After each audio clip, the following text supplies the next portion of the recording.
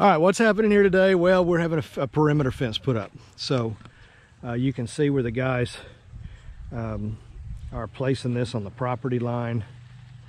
Uh, it goes all the way down to uh, to the road. That's that's the start of our property on the on the west side. Comes and the, property line is really jig jaggedy. Um, I'm not sure how that happened. These Mahomes have been here since 1917, so whoever divided it back then, that's this is what they did. And uh, so it goes boom, boom, boom. Then it comes down here and it heads straight down towards the creek bottom. And there is a spring right over here. And then of course, then it cuts across and goes over to my neighbor on the east side to his uh, fence. So that's the that's the property line. So we're going to do a mix of uh, barbed wire and hog wire uh, hog wire in the lower portion because I've got, you know, we got a lot of dogs that just run loose out here. Uh, goat herds. I've, I don't, I can't tell you how many times I've run goat herds off from around my pool because I have no front wall. So uh, this will assist with that. Um, I still got to get that front wall put in at some point. But this will keep uh, a lot of the dogs and the and the goats and, and cattle because uh, cattle just kind of I'm not sure who all the cows even belong to. They just kind of roam around here and eat. Um, we used to call that free range. It's kind of what we got here. Um, of course, this will only be a partial enclosure. I, without that front wall, um, I won't be able to um, keep them out completely. But that's that's coming someday, and I'll let you know when that happens. So that's what's happening here today. Uh, hog wire in the bottom and then barbed wire up at the top of the uh, concrete post. And um, for those of y'all that are curious, uh, well, I need to figure out how many linear feet because it also does go across the front of the property here up to the end of our uh, perimeter wall around the house. So it will enclose in all the rest of our property. Um, the only opening now will be this steps here um, that go to the pool and that lead to the front, which is wide open. It's finished, love it. Uh, the guys have got to come back. Uh, I'm actually going to utilize their services on the front wall uh, of the property. They gave me the best best bid by a mile. Um, I've already seen their uh, quality of work and I'm pleased with it. So um, yeah, it's Alejandro's uh, Fencing is uh, uh, the name of the company and they're out of Tarlac. So we'll try to include the contact information. Uh, Fernan is the guy that I, I actually talked to and uh, super nice guy, very professional. Uh, they also were very respectful, just like the solar guys. They actually stayed up under, they set their tents up underneath this uh, big mango tree on our property. And it's, it's kind of like they camped out. I mean, you know, they had, a, they had a little bonfire, they cooked their meals there. Uh, we told them they could use our outdoor shower, uh, our, our guest CR if they needed it. And they were here for about four days, um, putting up this perimeter fence. And we went with concrete posts. Um, you know, those of you from the United States, this is going to look pretty rough to you, but this is what they this is what they use. These concrete posts are not the prettiest, uh, but they're durable. Uh, they they did put them into a couple of feet into the two or three feet into the ground, and then they cemented them. And then I went. I wanted uh, barbed wire. They did it at the bottom, and they did it at the top, and then they did a hog wire in between, because I'm trying to keep. Um, a lot of everybody's dogs here roam free. And I'm I'm just an American and I believe in keeping my dog in my property and keeping other animals out. Uh, so that's what I'm going for.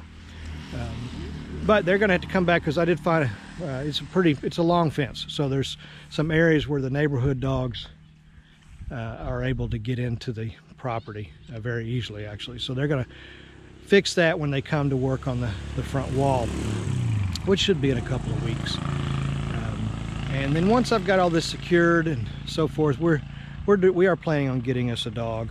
Um, any of y'all know of a good source to get. I'd like to maybe get a Belgian Hound or a Pit Bull, um, you know, something along those lines that uh, be a good family. Uh, it's kind of a security dog, I guess you could say. Won't be living in the house. And we've got plenty of property for them to live on and uh, live in, run around on. So if you know of anybody, let me know. Um, I'm, I'm, having a little trouble finding places to get uh, get a good dog and then we want to get some training. I, have located a couple of training places in the, I think the Angeles Clark area that we might try to utilize. Uh, but here's the fence. Starts over here at our um, uh, wall on the prop on the, around the house, and that's actually our little gate right there. We've got a it's big enough to get a vehicle in here if we needed to for any reason. And uh, this is the the perimeter fence itself, and it goes back over. I'm not going to walk the whole thing because it's pretty long. Um, and it's just all looks the same.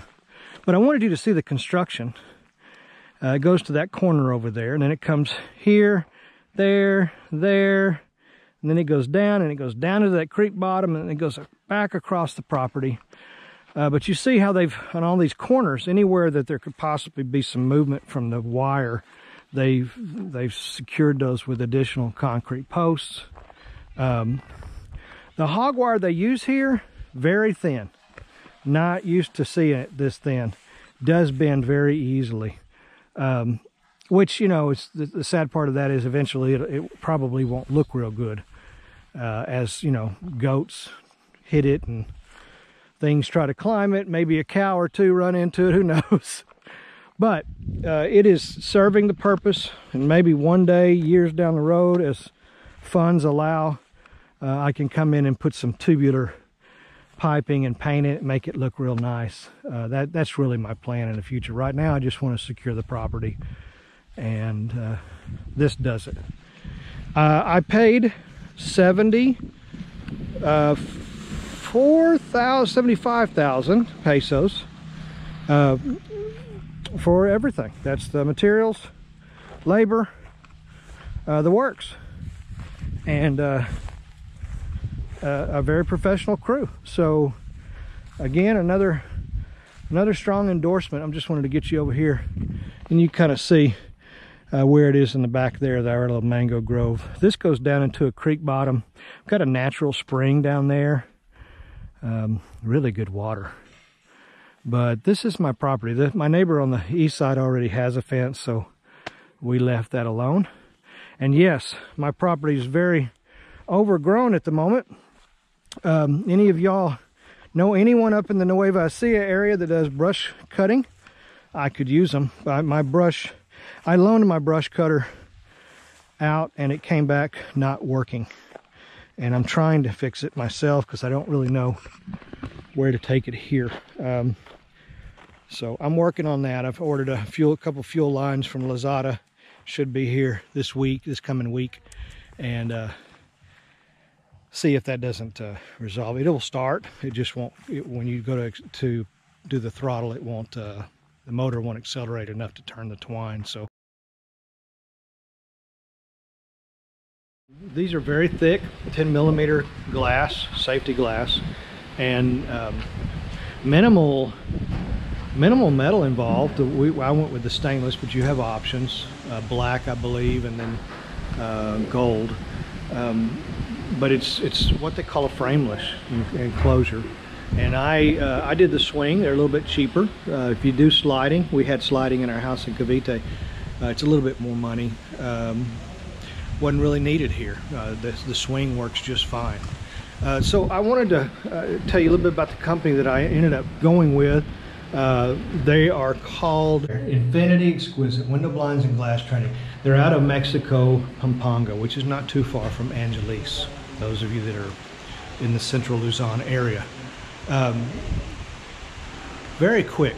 After the ocular inspection, um, the guy called in the measurements. They gave me the quote over the phone. I thought it was very fair. And uh, I gave them the 50% down. Listen, if you're doing things off marketplace, some of these folks will try to get more, try to do 60%, 70%. Don't do it. 50% maximum. Uh, and then when the, the product's delivered, it's installed, everything's working good, then you go ahead and release those additional 50%. That is really how it should be done here. But you know, people try to get, sometimes they try to get a little bit more up front. I don't know why. Everybody I've had do work for me has always seemed to be very reputable and take care of their business, but uh, protects me, protects them. They get enough money to get their materials together and get the job going. And uh, anyway, that's what we've done. I've, I have found um, all of our extra work off of the marketplace. So that's where I do. Like I said, you got to be got to be diligent with your questions and uh, don't be afraid to ask. If you if you get an, an, an uneasy feeling, then it's probably not the company for you. Uh, keep looking. Um, but here they're doing the hall bath, and this is going to be a real simple. This is a typical CR here, where you got a sink and a toilet, and then uh, the shower itself. So this will be a very simple enclosure with a swing door that goes to the inside. And then the CR in the master bathroom. A little bit different. It's what they call an L shape. And uh, also has a swing door. But it will have a piece of glass that comes out here between the shower head and the sink. Another piece of glass, and then there'll be a door here that actually swing out to the left. Um, so that's how that will work. But you can see how thick this glass is. Really, really, really thick. Hey guys, just wanted to show you the finished product. Um, shower installer, installers finished up about, oh, maybe about two hours ago. And um, yeah, I think it turned out great. They, uh, once they got to putting this together, they found out that because of the length of it and, and so forth, they needed to put this extra support. It's a frameless shower, but they they just felt like this was a good idea, and I agreed. Uh, they actually built that on the spot. They these guys did a good job. They they just knocked it out, and really pleased with it. Quite beautiful, actually. Decided to go with the door swinging in instead of out. It was going to swing out this way, but just too much going on over here. We decided to go in with it. It's big enough that it can swing in with no problem. So let's go look at the other one. Okay, wanted to show you a quick shot of the hall bathroom. Uh, because of the way the tile's done in this bathroom, only goes up about halfway up the wall, they had to do some extra supports on the side to give the glass plenty of stability, but you can see that this is also a swing type door. Very nice, beautiful actually. Should do a good job of keeping the water off of everything in here. So uh, wanted to just introduce you to their representative uh, from Guimba Venetian Blinds. Guimba Venetian Blinds representative we're located at Guimba Nueva Ecija, Pasong, Inchic. Uh, beside Old Barangay Hall building, we are the direct sellers, uh, fabricators as well. And what else besides these are the these are the Korean? We, we're going to show you some of them. These are what they call Korean Korean combi blinds. combi blinds. But you sell other things. What Uh, are some of the other have items that you uh, have? PVC horizontal blinds, Mhm. uh, wood blinds, sir. Okay, wooden blinds, which a lot of Americans yes, love. Uh, a little pricier, I think, than these, but they do have them. If you if that's that's your preference, they, they can make them. Yeah. Uh, accordion doors for Like a partition type of. yeah, par- partition type Okay. of division. Curtains, we also do have curtains. Okay, good. So, as you can see, they've got a little bit of everything that you could need for your window coverings. So if you're up here in Nueva Ecija, uh, Pangasinan, uh, this is probably going to be one of the, the closest manufacturers you're going to find. And it's really cool to actually deal with the people who are making them. So, um, Direct. Yeah, yeah, that's kind of cool. So let's, let's check out a couple of their blinds. Let's come over here and see how these babies work. So this is a very, very large opening. And it's also a walkway, as you can see. It's double sliding doors. You've got two stationary glass on either side. Um, and so what they did is they, to do one hole is, is way too long. So they, they doubled it up, basically did two separate uh, shades for this. They put my chains on the outside so they're not hanging down here in the walkway. And uh, yeah, so in the evening, we'll pull these puppies down.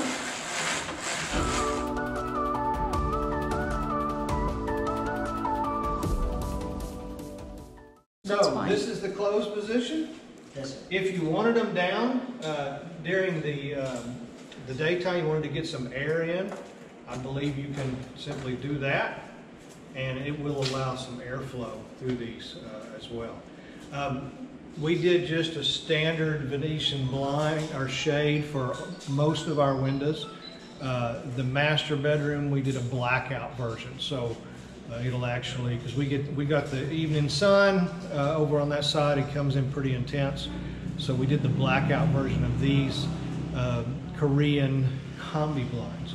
So glad I got that right. And combi. Yeah.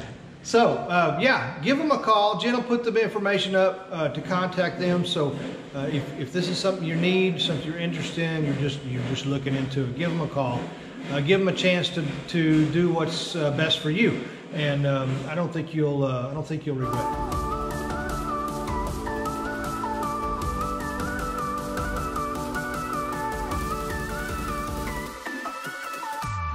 Hey guys, lots going on here today. Just kind of wanted to bring y'all up to up to speed. We're getting internet installed. Uh, this is uh, this young man here is with C&E uh, Internet. Yeah, Instalink. So here's the here's the interesting thing. We have a Converge pole right outside our house, but Converge says they can't give us internet because they, for whatever reason, even though they installed poles all the way down this road, they they stopped their cable uh, down there by Argamosa Farms, which is maybe 300 meters down the road. So they're not sure when they're going to get it down here to us. Uh, and since they were so unsure, we looked elsewhere. So we tried PLDT. Uh, no go on PLDT. So then we uh, contacted C&E Instalink is what the C&E Instalink, and they they are going to be able to take care of us. Now, the way we get internet here, excuse me, is just like I got it in the Dominican.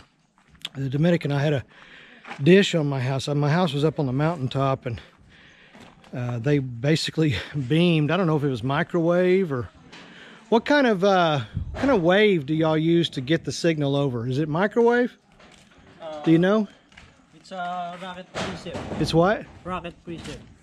Rapid uh, this one is the LBE, LBE. Okay. LiteBeam. LiteBeam. Okay, so there you go, LiteBeam.